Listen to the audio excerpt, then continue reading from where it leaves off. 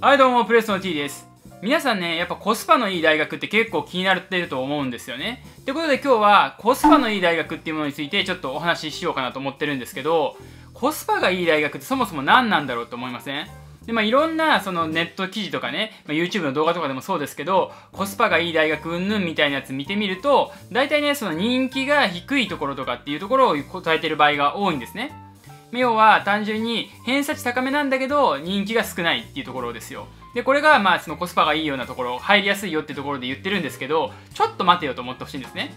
あのそれでさ、まあ、みんな分かってるとは思うんですけど単純に人気がないってそれなりの理由があるわけでだからこそ、まあ、その皆さんねあのそこ受けてないわけですよ。で穴場大学とかいう風に言ったりする話もあるんですけどあのねそれもまたちょっと引っかかる人が結構いるんですけど穴場って穴場じゃないんですよ。どういうことかっていうと穴場っていうのは気づかれてないから穴場なんですね。そもそもそんなん YouTube とかの動画でここ穴場ですよとかって言ってる時点でもうそこ穴場じゃないんですよ。みんな知ってるからあの今年の倍率バーンって上がったりとかで全然あるんで、まあ、そういった情報はあんまり鵜呑みにしない方がいいです。ちゃんとその年のあの自分が受ける時の,、まあ、の予想というのをちゃんと見てねあの考えるのがすごく大事で。で、まあ、学部とかに関してもそうじゃそうなんですよね。まあ、今年で言ったら国際学部とかあのコロナの影響ですごく人気がなくなってますよみたいな話よく言ってるんですけど、まあ、それはある意味そうなんだろうなっていうところはあるんですけどそれもさだってここから先どうなるか分かんないわけであくまですごく受験生の今の短期的な感覚としてちょっと国際学部遠慮しとこうかなぐらいの話なんですよ。で確かにそれで人気が下がるっていうのはあるんですけどだからって本当に行きたい人は絶対そこ受けますから何があってもね。だから、まあ、単純に倍率だけ見てもしょうがないっていうのも1個あります。要は、倍率っていうのは、あくまで募集定員に対してどれだけ多いかっていう話で、定員が増減してるわけでは一切ないんですよ。まあ、もちろんその増減してる場合もあるけど、それはまた別の話じゃないですか。でね、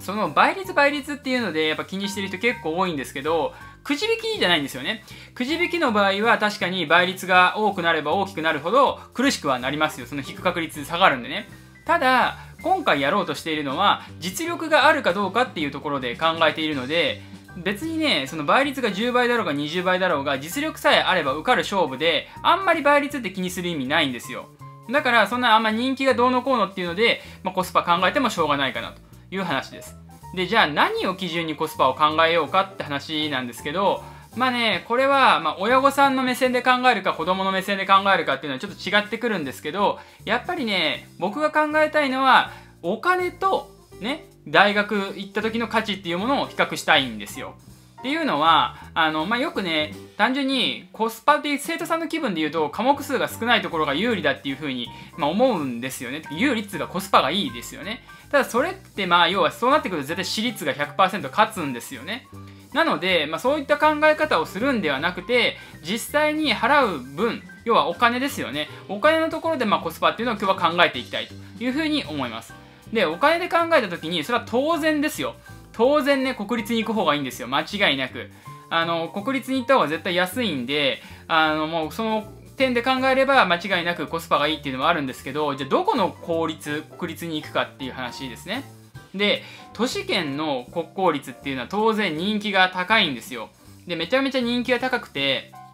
であのまあ要は東大とか京大とかですよね。そういったところに行ければ、まあ、将来安泰だっていう意味もあってやっぱネームバリューもあるしでしかも安いからっていうのですごくお得なんですけどこれはねあの生徒さんの立場に立った時のコスパっていう意味では結構苦しいわけですよ。要は世界あの日本の中でもトップクラスですよね。でそこの大学っていうのは当然人気が高いわけだからそこにガーッと人が集中してしまうからやっぱりね苦しいんですよ。レベル高い人が集まるから。ってなった時に考えたいのは地方の国公立ですね。これを皆さんちょっと考えてほしいんですよ。でなんか地方の国公立っていうとすごい程度が低いなっていう感じを、まあ、受ける人もいるかとは思うんですけどあのね全然違うんですよ。あのねぶっちゃけ大学のそのレベル感って言った時に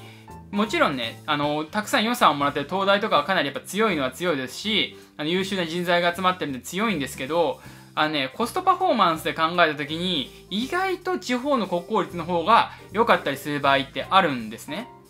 ある一定のレベルまでなると、まあ、もちろんね教授とかのレベルも当然高くなってきますしやってることとしては結構レベル高くなってくるんですよ。でそうなってきた時に地方に行くとねいろんなものがどんどんどんどん安くなっていくんですね。当然物価だって安いでしょうしだからそう考えていくと単純にさ一人暮らしって言っても家賃とかめっちゃ安いでしょでそうなってくるとさあの単純に学費の面で比べた時っていうのは、まあ、当然全国国公立基本的には全部横並びですけど地方の方がだいぶ安くなってくるよと。だけどネームバリューっていうのは必ずしもそうじゃないんですね。これ前僕言ったかもしれないですけど例えば僕岡山の出身ですよ。岡山の一般的な人の感覚って大学のランキングね。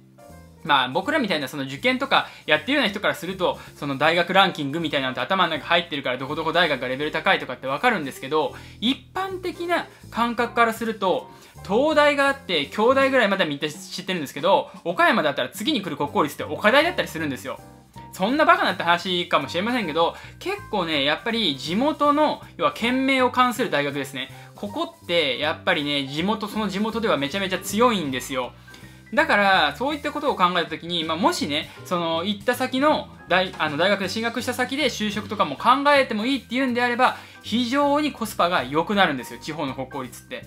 でねまあ競技あの結構やっぱ東京一極集中ってよくねみたいな話ってよくされてるじゃないですか。まあその大阪都構想とかってうんぬんかんぬんで大阪を第二の都心にみたいなことを言ったりとかしてる分もありますしあのどんどんどんどんねその地方に行きましょうと。でテレワークとかがどんどんどんどんその進んでくるっていうのはあのパソナだったかな。それこそあの淡路の方に淡路島の方に来るっていうような話があるじゃないですか本社移転がね。でああいった動きって今後加速するとは思うんですね。だからそうなった時に全然地方でも問題はないとは思うんですよ。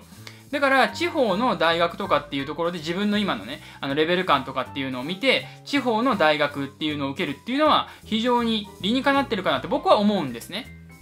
で、まあ、もちろんその東京とか大阪に住んでる人からすると田舎に行くなんてっていうふうに思ってるとは思う部分あると思うんですよ正直。あの僕もね生徒見ててそういうふうに言う人いるんでわかるんですけど実際問題どうかっていうとね結構いいよ別に田舎でも。あの結構やっぱ大きいターミナルとかあるような駅とか特にまあ岡大とかそうなんですよね。岡大ってまあかなり立地が良くて岡山駅からかなり近いとかっていう話もあって悪くないんですよね場所的には。でそういった大学ってまあ全国探していろいろあるんでそういったところをねこう狙っていくっていうのもありですし興味ねあのだってみんなお買い物うんぬんとかって言ったりとかしますけどどうせみんな Amazon とかで買うでしょ。で映画とか見るにしてもさあの基本的にそれこそ Amazon プライムで見たりとかできるわけで映画館や1つや2つそれはどこに都市でもありますし別にねそんな困らないんですよね。結局友達がいればそれだけで楽しいっていう部分もありますしあの田舎の方だと部屋がさ広いから同じ家賃でも結構広めの部屋にねあの住めたりとかするんでじゃあそこで友達呼んでさあの遊んだらいいわけじゃないですか。でそれで浮いたお金でちょっとでかいテレビ買ってでそこで映画とか映してさ見れば別にさ彼女とかで一緒に見ればそんな映画館なんか行くより全然いいですよ。絶対そっちの方が楽しいですよね。とかっていうような話もあって結構ね僕あの田舎地方の国公立大学狙うのいいと思ってるんですよね。まあ、各言う僕もね、あのー、岡山の出身で、あのー、ね、全然大阪出てきてるからお前だって結局都会出てきとうやんけって話ではあるんですけど、まあ、感覚として別に今となっては田舎でも良かったかなっていうふうに思ってるんですよね。別にその、まあ、僕自身就職してないんであれですけど阪大っていうカードを切ったところでまあそれは大きい会社に入りやすいっていうのはあるかもしれませんけど多分ね僕ぐらいのレベル感だったらそんなね変わんないんですよ。あの普通に落とされるからね能力ないと落とされるんであんまりね別にじゃあ岡大とかの出身ですって言っても変わんないかなっていうふうに今だったら思えますね。まあそれは結局やってみないとわからない話ではあるので、まあ、皆さんやっぱりその都会に出たいとかっていう感覚あるんだったら全然出てみてもいいとは思うんですけど逆に今都会に住んでる人っていうのは少しね地方の国公立考えてみるのもありなんじゃないかなっていうふうに思うんですよね。まあこれは本当あの各個人の考え方いろいろあると思うので一概にはそのコスパがいいコスパが悪いっていう話なんか言えない部分もあるとは思うんですけど単純に金銭面のところで考えた時にまず国公立が有利だよっていうのは間違いないですよね。でさらに物価とかの面で考えた時に地方全然悪くないと。てか地方の方が絶対安いんでね。でさらにブランド力っていう意味で考えた時にもその大学のある地元ではめちゃめちゃ強力なブランド力を誇ってるのでそれも悪くない。全然もうその選択肢の中に入れてもいいですよね。これぐらい優位だったら。もちろん最初だったらなんかその外から来たやつがみたいなところっていう風にあるかもしれませんそのま方言が違うとかね。まああってなんかちょっとやっぱ田舎っぽいなっていう風に思うところあるかもしれませんけどそんなもん最初の1年ぐらいのもんですよ。住んでみたら結構ねあの田舎でも楽しいですしむしろあの人がわちゃわちゃしなくてあの楽しいっていうのもあると思うんで、まあ、皆さんねぜひそういったところも考えて地方の国公立ぜひ一つ選択肢に入れてみるといいと思います。じゃあ今日はこの辺でおおらかな。お疲れさんでした。さよなら。